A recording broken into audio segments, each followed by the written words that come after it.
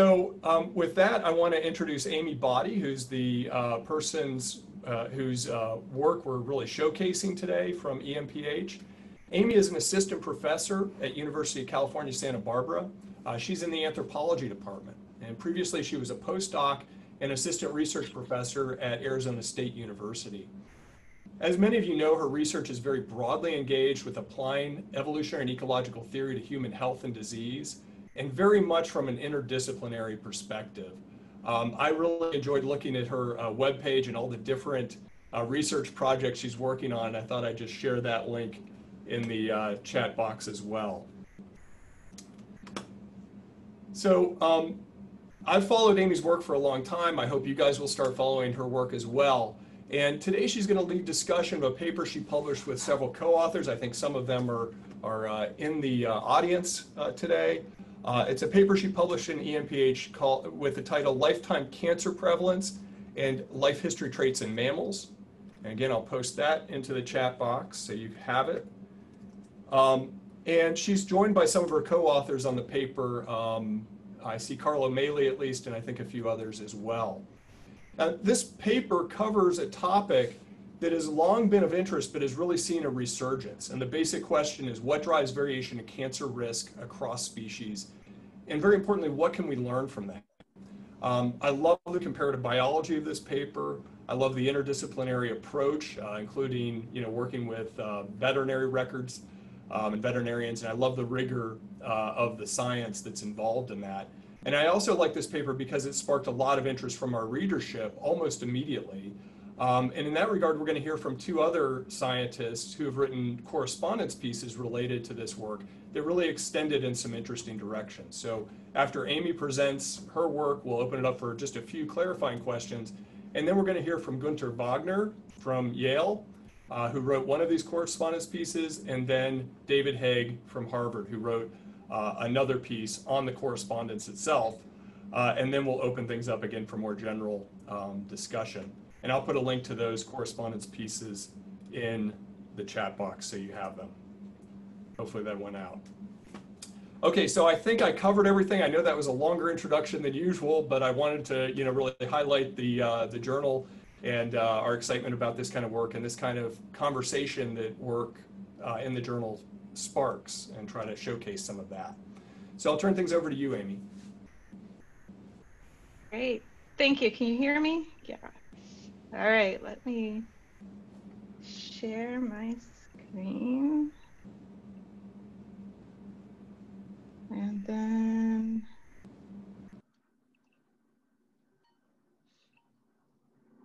all right, everyone see the slides?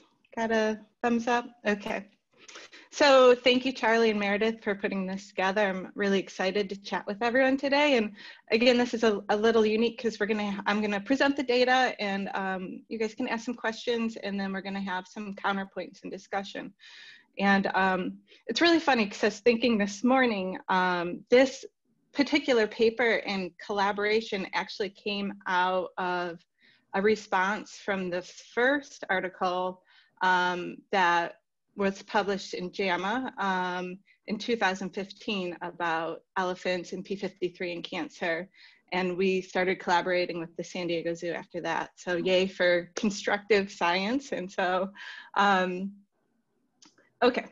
Um, yeah, and so as Charlie talked about, um, today I'm gonna talk about um, the variation in cancer, and specifically we're going to um, focus on mammals, but I wanted to open up big picture and get everyone on the same page in that um, uh, most mul multicellular organisms are, are vulnerable to cancer. Uh, we see it in insects and um, plants and of course in vertebrates. And so cancer really is this um, consequence of multicellular um, evolution, and it has been a, a, persistent selective pressure in organismal evolution. It's been around for a very long time.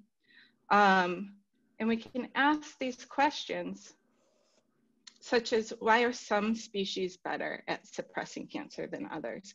If it is ev evolutionary ancient, why haven't all species just gotten really good at um, suppressing cancer? Um, I guess we could argue, yes, they are quite, we're, we're all quite good at suppressing cancer, but we still see this vulnerability to cancer that varies across the tree of life. And, and why is that?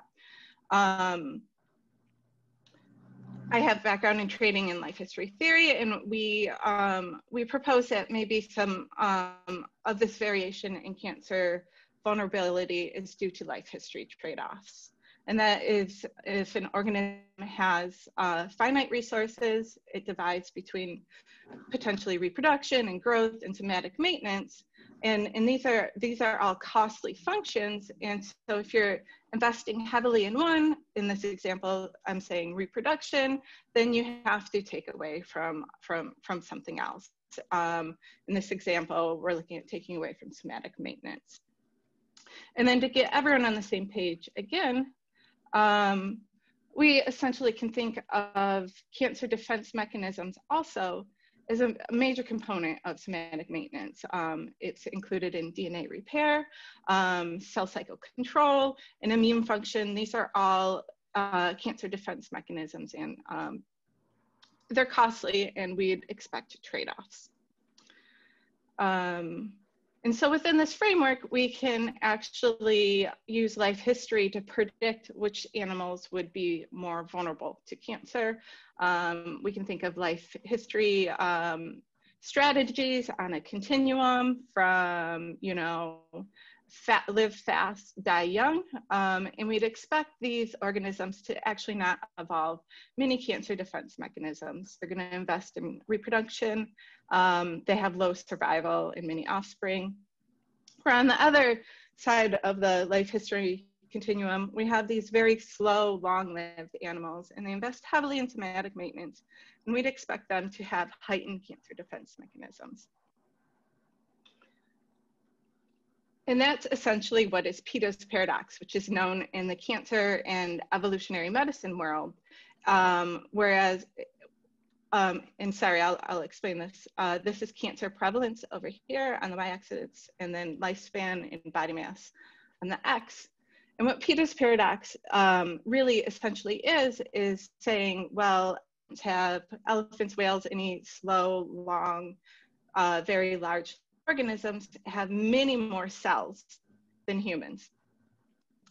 Um, so all else being equal, if we're just thinking about somatic mutations that lead to cancer, elephants, whales, all of these very big organisms that have many cells have increased risk um, because they just have more cells. We'd expect these organisms to actually have much more cancer than humans.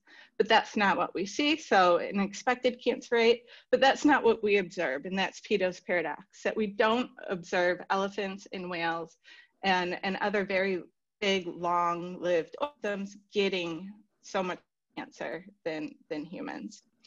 And so we suggest that this, this difference, um, bringing these observed cancer rates down, um, is that these big long organisms have more defense mechanisms. Um, seen with um, work and duplications of a really important tumor suppressor gene called TP53. Um, there's also duplications in, in other genes within elephants. Uh, sorry if I didn't make that clear. Um, okay, and so um, back to, to that's the background. Um, so what are we doing in this study? We're asking if these life history parameters can predict cancer risk. Um, we can retest the question, do bigger, longer lived animals get more cancer?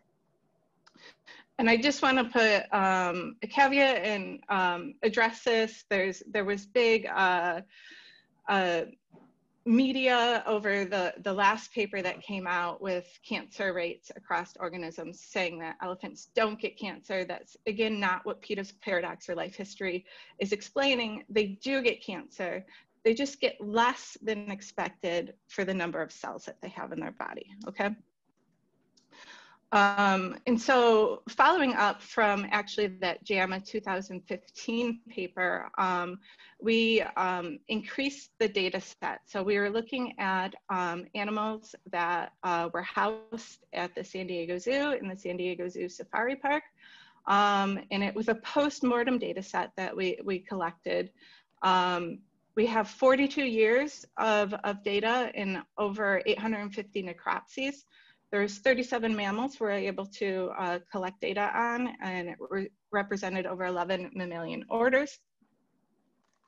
And what's really, really nice and amazing about this data set is um, there's complete post-mortem examinations, pathology, uh, all the tissues. It was really great to have a pathologist join the team at this point. Um, they were able to um, get a little more detail um, than what was previously published. Um, we could diagnose malignancy and benign tumors in the set. Um, and that way we were able to estimate both neoplasia prevalence and malignancy. Um, and just some background for those of you that are not within the cancer field. When I say neoplasm, this is a general term for abnormal growth. It includes both benign tumors and malignant tumors. Um, and then when we're talking about malignancy, that's cancer, right? So that's the malignant cells are actually invading the nearby tissue. And so in this um, data, I will show you both um, the rates for, for neoplasia, but then I'll just focus on malignancy for, for both. The trends are the same for everything, but I'm just gonna show you the malignancy data. Um, and so here's the data right here, and I'll, i am going over this quickly. I'll show you some more detailed slides. Um, but what we have after we, um, we had to have at least 10 individuals per species. So this is actually 29 mammals. Um, there was quite a variation in uh, neoplasia prevalence, uh, some, some animals reported zero and up to 61%. Um, the total data set, we had about 12% uh, neoplasia reported within the postmortem sample. And then just slightly different numbers for those that were actually cancer and malignant. Um, that ranged again from 0% to about 54%, um, with the mean malignancy prevalence of about 9%. Um, one of the animals that got the most malignancy and neoplasia was the Virginia opossum. Uh, we can revisit that uh, in the, the discussion. Um, okay, and so the life history data that we incorporated and wanted to test was body mass, lifespan, and litter size. Um, and I, this data set represented um, pretty good variation our biggest, longest lived animal in the data set was the elephant. We had data on both African and Asian elephants in, in this data. Um, the smallest and shortest lived was a striped mouse. Look at how adorable it is. Um, and then we had a bunch of species with singleton births, and it ranged all the way from, from one to, whoopsie, multiple litter sizes. Um, look at that, that's adorable. Okay, um, so, so then we asked the question, can life history theory explain why we see these, this variation um, in cancer rates? Um, here, the models right here, I'd like to say that we ran a, a phylogenetically corrected uh, linear regression model to uh, correct for non-independence due to evolutionary history. So, so the data I'm showing is, uh, is corrected. They're PGL models. And uh, we tested for body mass, lifespan, litter size, and then uh, at the end, we're gonna talk about placentation. Here are the models, but I wanted to show the actual data and remind you again, remember this is what's predicted with Peto's paradox, with body mass and lifespan. Um, and this is the data we see, all right? So this is percent malignant here on the y-axis, and then we have body mass. And we find no, so we read Peto's paradox holds again in this data set. Um, of special note uh, to call out the armadillos uh, were quite low, no malignancy at all. I think there was over 60 armadillos in the postmortem data set and also moose. No, um, no reports of malignancy in, in these animals. Um, I did want to point out some of the high ones. Um, Virginia opossum um, prairie dog, which uh, uh, if you look into the literature, uh, this has been uh, a common knowledge within the, the vet literature that prairie dogs do get a lot of cancer. And then the Tasmanian devils are surprising because I think some of you might know that they get transmissible facial tumors. Um, this is, and I wanted to highlight that this is a zoological data set. So these individuals were protected from the transmissible facial tumors, but we're still reporting pretty high malignancy in this organism, which um, I think is, uh, is quite interesting that they just might be vulnerable to cancer in general. Um, if we look at the relationship between lifespan and malignancy, uh, again, we don't find a relationship uh, supporting Peto's paradox.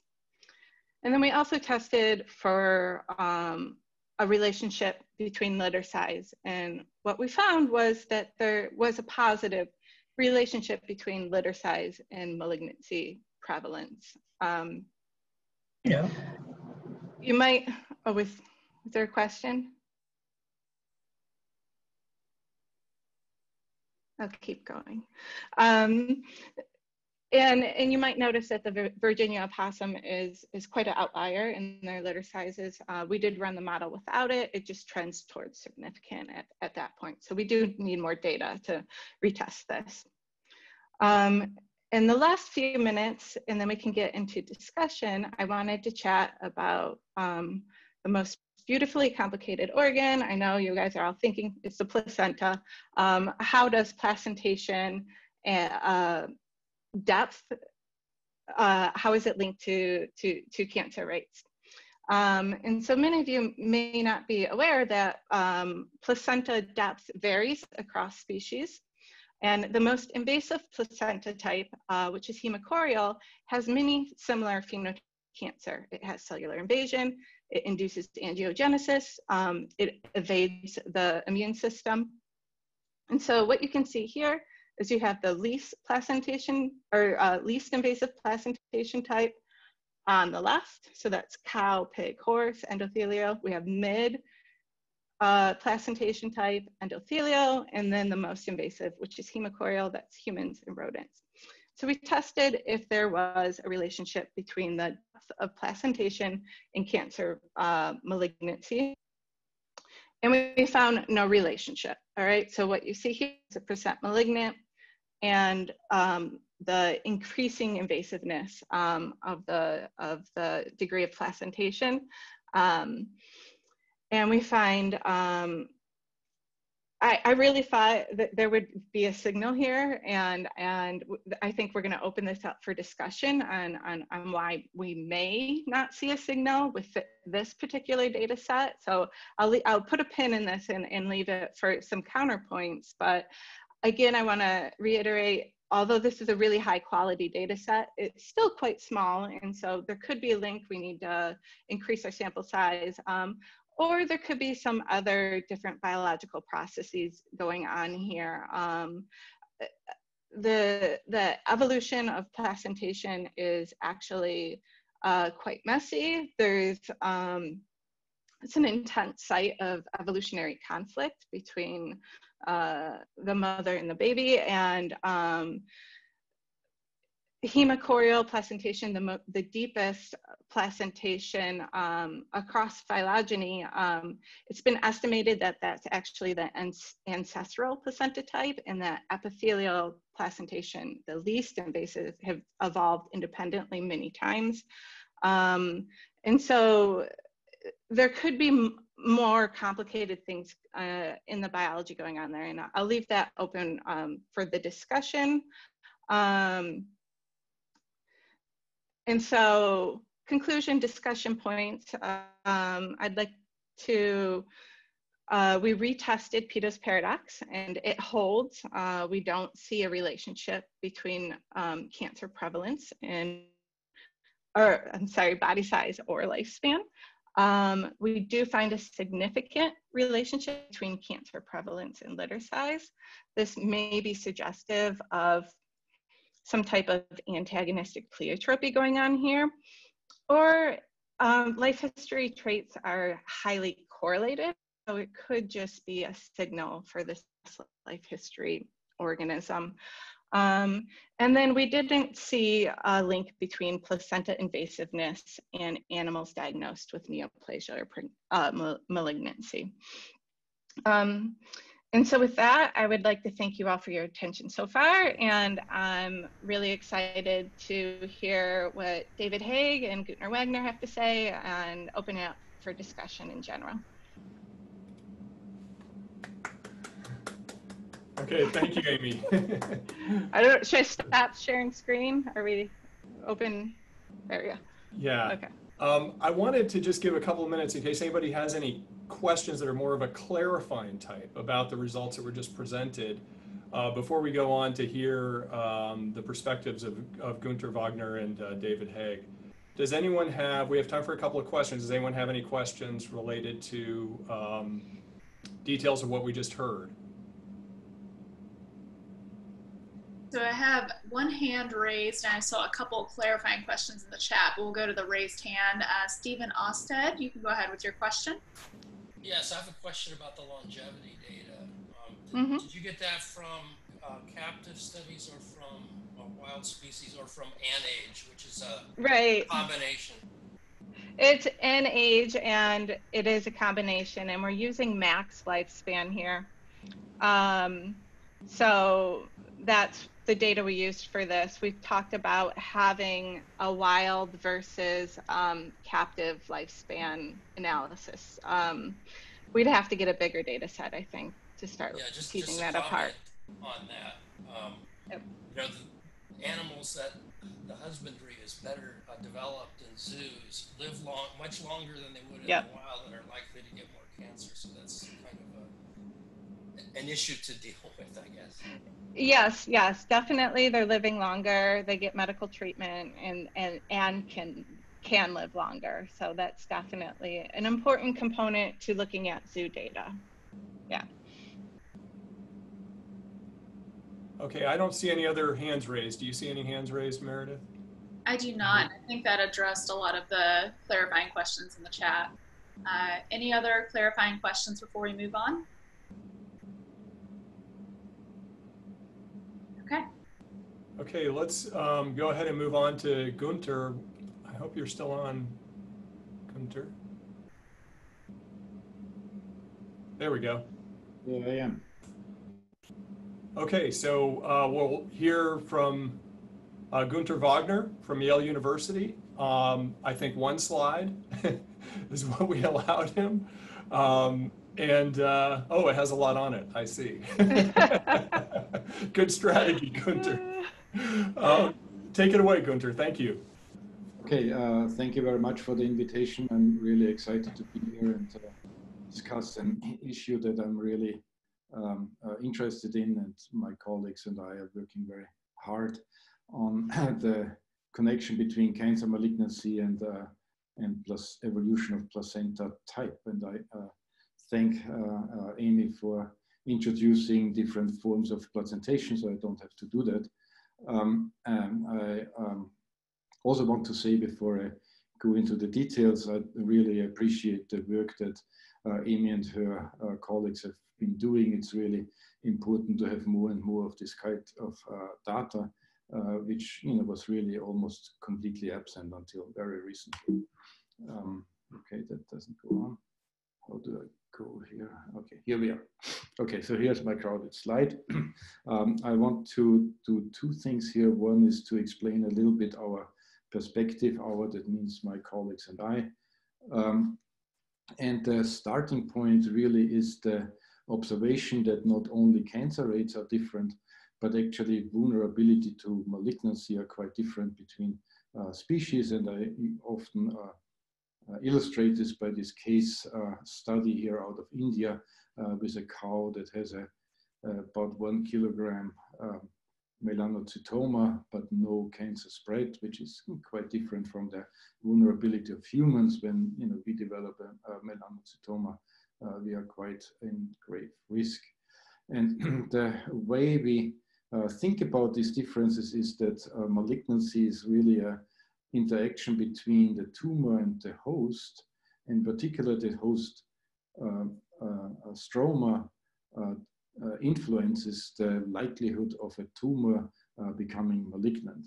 We have uh, tested this experimentally in this recent paper from last year, um, where we looked at cow and human fibroblasts, both from the uterus and the skin, and we could show that bovine skin fibroblasts and endometrial fibroblasts are much less invasible uh, than uh, human cells. Here you see some results from, um, I think those are yeah, skin fibroblasts with melanoma uh, lines and always the human uh, uh, cell type is more invasible than the, the, the bovine counterpart. You may be wondering why, you know, the, it's also the case that you know cows and horses and so that are known for less malignancy uh, have this uh, less invasive placentation, and so you may be wondering why these you know skin fibroblasts and uterine fibroblasts have a similar biology. Um, you know, one note that I can give you right here is that if you look at the uh, correlation of gene expression changes in these two cell types over mammalian phylogeny, you see very high correlation of gene expression changes. So in a way, uh, different fibroblasts populations and cell types actually evolve quite uh, in a correlated me mesh uh, way. Here you have one particular gene that is correlation is particularly high, um, activin receptor. Now what I want to point out uh, and, um, and uh, explain why my perspective on the data that uh, Amy has published uh, is a little bit different. It uh, is the following. Uh, to us, malignancy is actually at least a two-step process. So we have first normal tissue, then mutations occur, forming a primary tumor. We may call this process tumorigenesis. And once you have a tumor, then there's another uh, uh, step, uh, name it malignant transformation, which then actually gives you the uh, spreading uh, tumor, the malignant tumor. So the biology of going from normal cells to uh, cancer cells and from cancer cells to malignant cancer cells are actually quite different. And in particular, this second step is one that is more interaction between host tissue and the tumor uh, than uh, the original tumorigenesis. Now, if this is a two-step uh, process, the way to uh, calculate uh, malignancy rate, uh, as I understand them, um, is to take the number of malignant tumors among the necropsies of a species and divide it by the number of tumors of any sort, because the malignancy rate is conditional on the uh, question of whether there is a primary tumor or not. Now, if we reanalyze um, the data from San Diego, um, Zoo and as well as uh, reusing data that a student of mine and I have used some years ago and you know pull all of this together we get a pattern that looks something like this here marsupials are have a high malignancy rate for reasons that are interesting in itself but within the placental mammals there is sort of a suggestive trend where the least invasive um, animals with the least invasive placentation have also the lowest uh, malignancy rate as calculated in this way. Endothelial um, estimated to be a little bit higher, although you already see that you know, p-values is not what I will uh, uh, publish here. And hemochorial is higher than both, is est estimated to be higher than endothelial and epithelial chorial. Um, so I think that overall, even though the, statistical power is still limited, uh, and if we think about malignancy rate in the way I defined it up here, there is a, an, uh, a suggestive correlation between uh, invasive uh, uh, um, hemochorial placentation and high rates of malignancy as defined up here, and the least one in epithelial chorial um, um, and I think I'm already beyond my two minutes that I was allotted, and uh, probably uh, should stop here just say that you know again that I really appreciate the work that uh, Amy and colleagues have done, and uh, that's the important step. I think uh, disagreements about interpretation and analysis are something that you know, well-meaning people can uh, can discuss about. Uh, forward. Okay, thank you, thank you, Gunter, for that. That's really useful. And uh, so basically, there, your your reanalysis suggests that there's an effect. There may be an effect of placentation. Right, Uh, in, in, the right direction that, analysis. that that you would expect. Okay. But it, it really depends on how you estimate uh, a rate. So uh, Amy actually uh, uh, estimated it by number of uh, divided by number of necropsies. Yeah. I would argue actually uh, confounds malignancy and tumorigenesis. So puts these two processes together. So Okay. that's that's the, the way I, I Okay. argue. Okay. Thank you. Thank you for that. Uh, we'll now move on to David Haig. David, are you still with us? There he is. We have next David Haig, uh, professor at Harvard. And do you have a slide for us? I do have a slide, so let me try and. Um, Oh, you have several well, actually, can I um, can I talk just a little bit before I uh, share share the screen? So, of course, I would love to talk a lot about um, placentas and um, maternal resistance to placental invasion, but what I want to focus my attention on is um, is issues of litter size. Um, first of all, I applaud um, the analysis of Boddy and colleagues, um, but you know, one of the costs of large data analyses is that they've got to make um, decisions on how do you measure litter size and things like that that are ignoring a lot of um, fascinating um, biology. And I was particularly fascinated in their um, data set that um, one of the biggest correlations of cancer rate was litter size. Um, I find that um, quite an attractive correlation because the degree of um, both maternal paternal conflict in placental development the, and the um, maternal offspring co conflict tends to go up as you have multiple offspring competing for resources at the same time. So I might um, expect that um, litter size would be, so large litters would be correlated with um, cancer. Now, an interesting observation there then is that two of the very high cancer rates in marsupials are in Virginia opossums and in um, Tasmanian devils.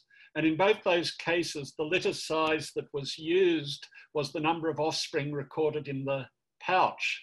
And in both those species, in fact, the number of offspring in the pouch is considerably smaller than the litter size in the uterus. In the case of Virginia opossums, it can be up to 50 embryos at a time um, that are scrambling to attach to 11 teats within the pouch. Um, the data on Tasmanian devils is um, much um, less, in, there's less data on Tasmanian devils, but Tasmanian devils do produce more offspring than there is a nipple to attach to. And so there's a very rapid scramble um, to get into the pouch after birth. And so if you look in those um, marsupials, their entry to the pouch is very, very rapid indeed. There's intense um, selection to be one of the ones that gets there. The ones that don't attach to a teat are often eaten by the mother or discarded in some other way. By contrast, kangaroos only produce a single offspring at a time for one teat, and, and there they have a much slower um, crawl into the pouch with the mother inspecting them the um, whole way. So perhaps the um, Virginia opossum, if you were using um, litter size in utero, would not be such an outlier and would strengthen the association um, with litter size. The other thing that struck me in the data was the, the data on the armadillos, which were given a litter size of um, four, but had a very low um, cancer rate. And that fascinated me for reasons that I will go into in a, in a moment. Um, so people who know me know I'm obsessed with um, squabbling among offspring and um, conflicts. And a lot of mammals have um, bicornuate uteri. These, um, if you've ever dissected a pregnant rat, um, each of the um, embryos is in its own implantation um, chamber. And I think that's partly an adaptation to keep the kids apart and to keep them squabbling um, in utero, that they tend to be isolated from each other. There are exceptions. The pronghorn is sitting there. uh, it was given a litter size of two, but in fact in pronghorns there are, they start off with about six or seven embryos in each side and all but one of them gets killed in early competition. And then that's how a, a mother gives birth to um, twins. Now, back to armadillos. Uh, armadillos are fascinating um, because, well, they have ancestors that give birth to a single offspring at a time. And so they evolved a simplex uterus, which doesn't have two horns. So there's no way to keep the kids apart in um, utero. And then they've subsequently evolved a um, litter. The only other case I know of in mammal phylogeny where that's occurred is in um, marmosets. Um, so they come from primate ancestors that produce a singleton and now they're producing a litter of two or in some cases three. So now I want to try and share my um, screen. Okay, so so this is a picture of a um, armadillo uterus. Um, if you can see the pointer, the ovaries are down here and the fallopian tubes leading into the simplex uterus. Um, and Dasypus novemcinctus, the nine-banded armadillo, produces a litter of four.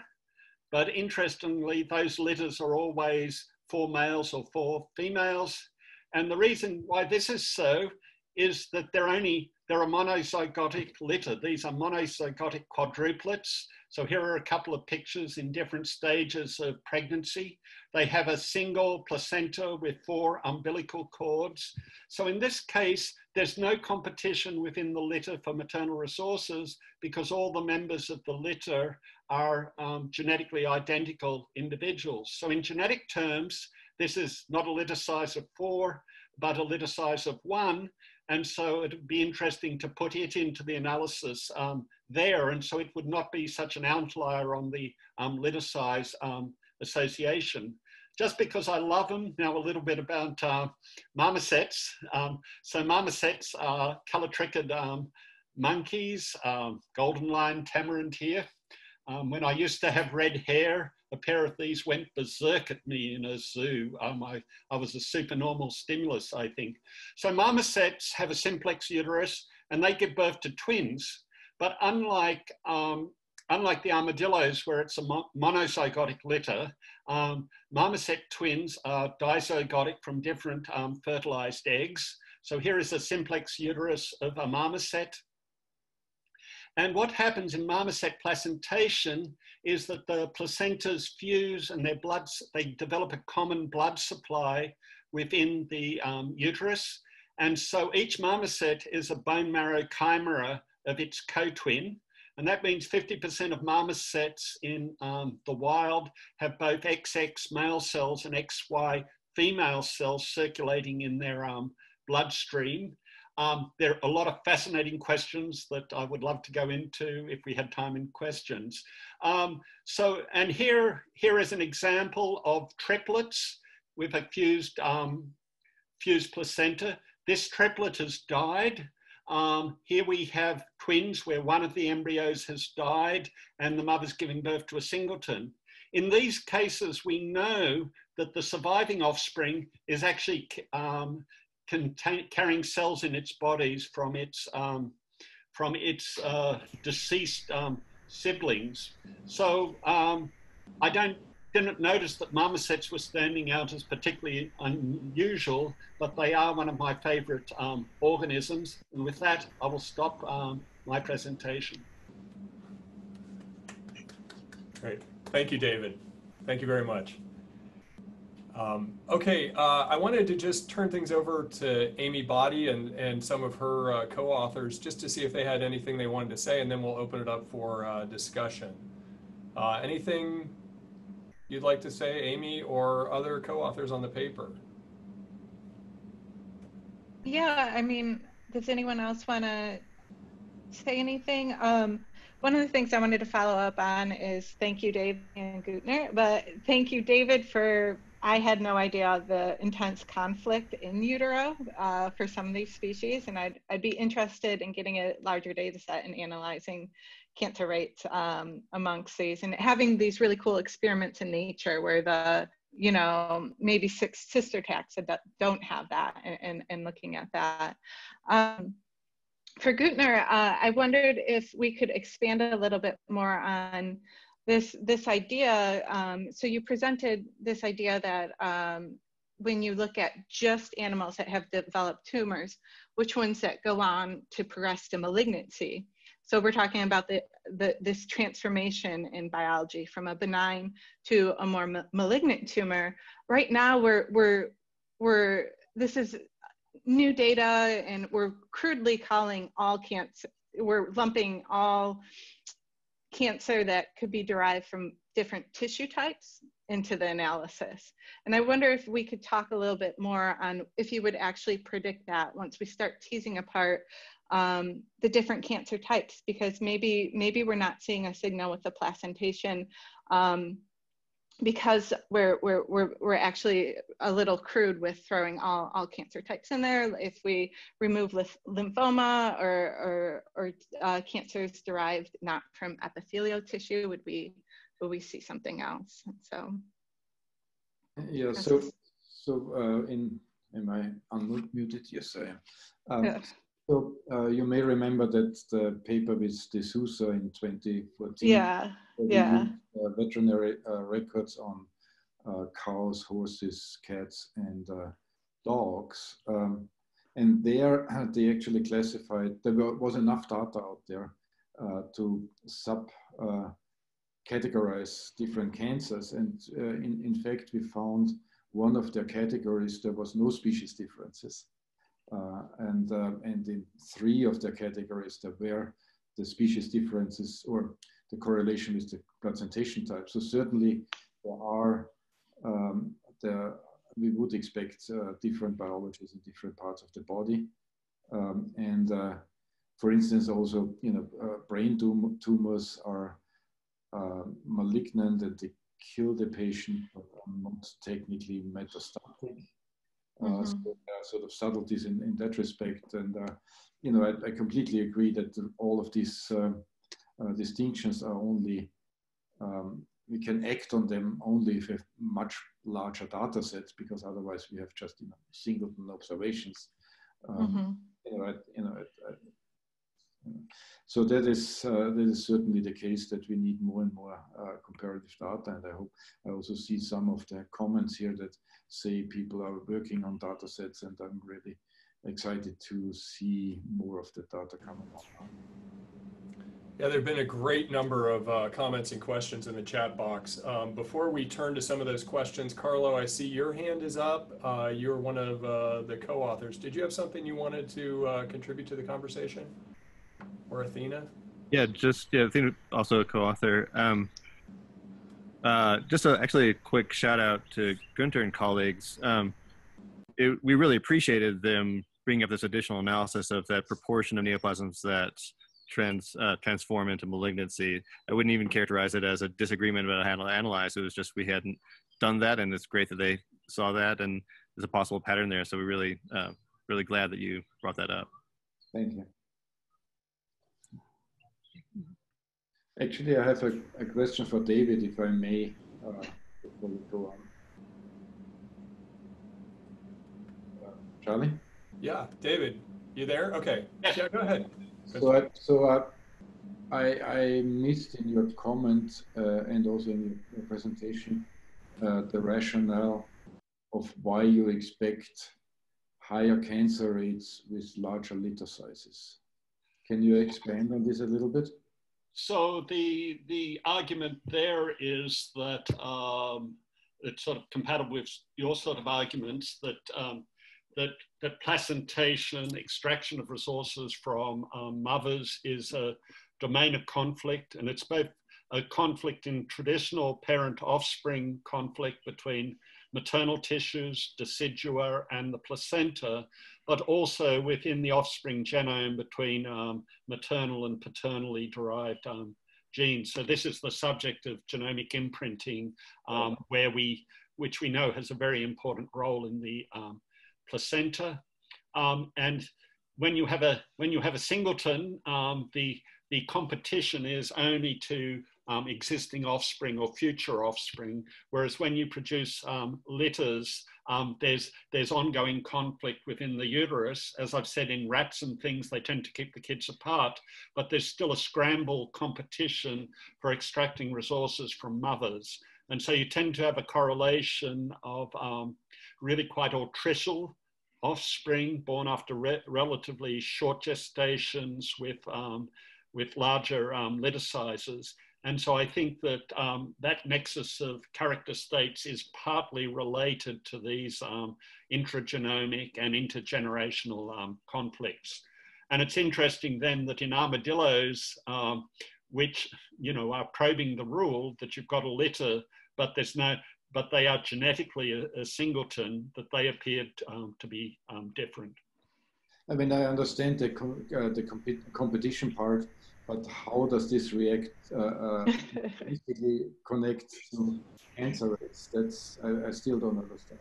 Sorry so let's let's pass that, and if we have time, it's a long discussion. I, I see Athena has her hand raised. I can answer yeah. that one. Yeah. So, um, so the way I see it, the best, clearest example of how this could um, relate to cancer rates is that when you do have this competition over the maternal resources, you have paternal genes that are upregulating resource transfer and growth rate of the offspring, and maternal genes that are downregulating that. And so you end up having this sort of battle happening like within the genome over growth rate. And if anything gets messed up in that, um, it's quite possible that you end up with growth rates that are much higher than would even be optimal for the organism. So to me, that's the, the clearest spot where genetic conflict kind of intersects with potentially increasing cancer risk. And I thought it was a um, fascinating parallel that you were drawing, David, about you know considering the genetic relatedness within the litters as a factor. I think that would that would be really cool because it would help distinguish about you know whether it's genetic conflict that's driving the cancer rates or if it's something else about litter size as a life history characteristic that is influencing the cancer rate right. Even this like extreme competition for the the embryos to get to the teats for the Virginia opossum could be like selecting for like get big as quickly as possible don't care about anything else. You know you have to be the one that survives and that could be a trade-off with cancer defenses getting getting to that so. This this is a fascinating uh, conversation. We're only going to have time for a couple more questions and so i just want to move on uh, to ask mick if he's still here if he would like to ask his question mick elliott You've had your hand up for a very long time. It must be getting tired. And so uh, please ask your question if you're here. And if anyone else has a question, please raise your hand and we'll try to fit in one more.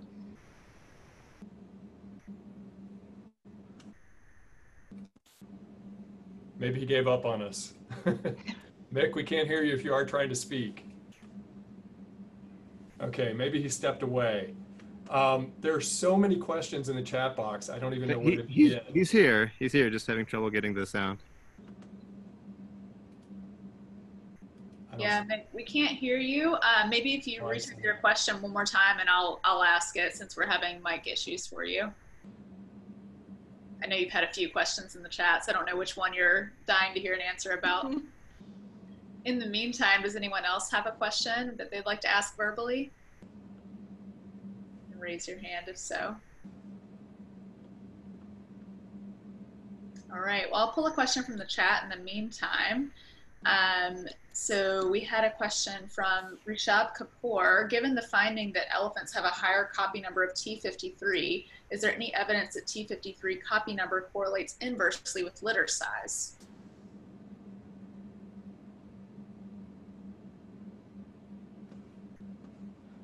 Uh, so I go.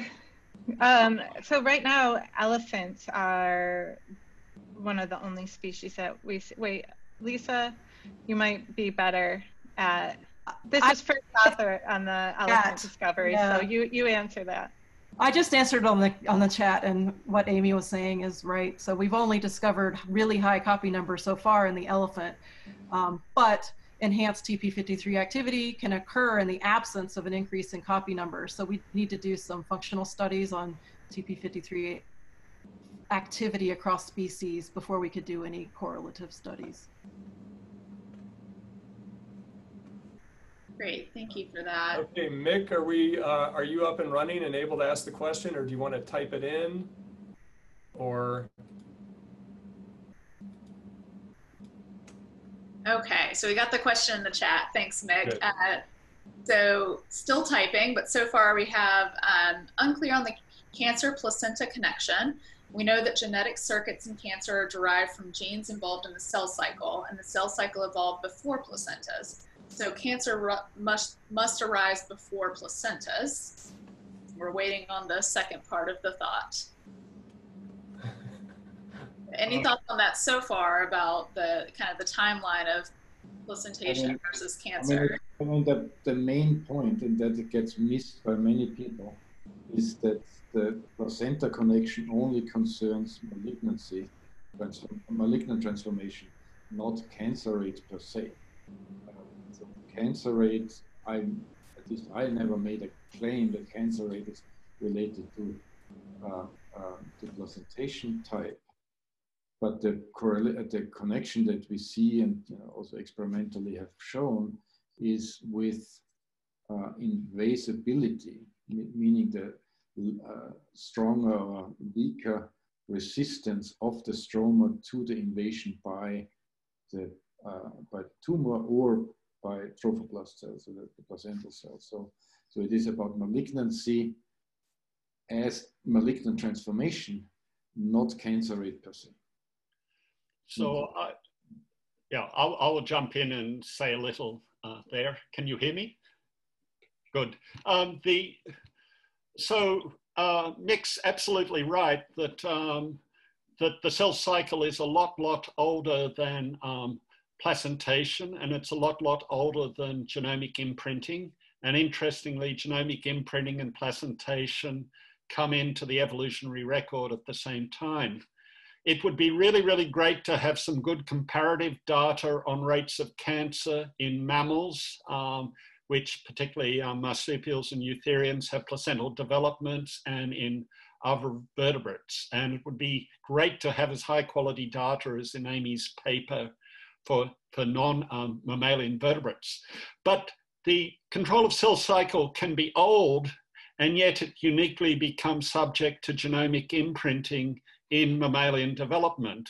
And as one example of that, CDKN1C, which is a cyclin dependent kinase um, inhibitor, so it's an inhibitor of progression through the cell cycle, is maternally expressed and paternally is silent in mammalian development.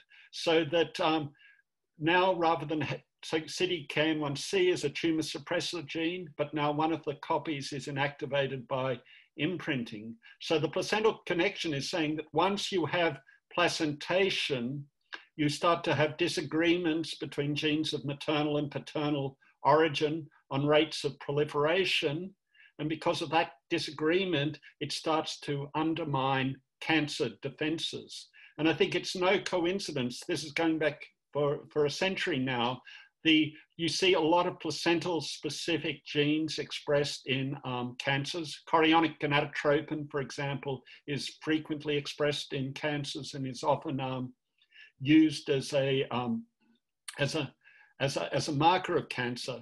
Back in the 19th century, in fact, um, the, the, um, um, the nature that placentation was invasive was actually figured out by the study of choriocarcinomas, um, which are placental derived tumors that are highly invasive. They're an interesting tumor in that they derive from the offspring from the placenta, but they invade and are lethal in the, the mother's um, body. And so they are one of the most metastatic of all um, cancers described in humans. Okay, I hate to interrupt this great uh, discussion that we're having, but we are at the top of the hour. I want to point out that Mick did complete his uh, question. There had already been some answers uh, to the question and further feedback. I have to say, this has really been a fantastic uh, Club EvMed, a really good example of what we're looking for with the kind of dialogue and and different perspectives uh, that are being shared here today. So thank you very much, Amy. Thank you, Gunter. Uh, thank you, David. I should have pointed out that uh, Gunter had some co-authors on his uh, correspondence. And uh, I want to thank Amy's uh, co-authors for, for coming and, and weighing in as well. Um, the last thing I want to do is share with you the upcoming Club EvMeds, if I can share my screen, uh, which hopefully you're seeing here. Next week we have um, a, some uh, interesting, perhaps related topics, an evolutionary lens on analyzing human birth timing. Uh, we're going to hear from Abby LaBella, uh, Abin Abraham, Lou Muglia, Antonis Rokas, and Tony Capra about some of the work that they have uh, coming out uh, and have already published. Uh, after that, we have Dan Lieberman. Uh, he's going to be talking about his new book, which is titled Exercise Why Something We Never Evolved to Do is Healthy and Rewarding. Great cover, isn't it? There, that's pretty cool. And then after that, September 24th, we have our uh, student spotlight where we're going to showcase three graduate students doing really cutting edge work in evolutionary medicine. Um, and I won't go on, but you can go to the website yourself and see what else is coming up. This was a great conversation. Thank you all very much for participating. Thanks for joining us. I'm sorry we didn't have more time for conversation. And I really hope to see you guys again at future Club EvMeds. So, thank you. Thanks for organizing it. You. Thanks, Gunter.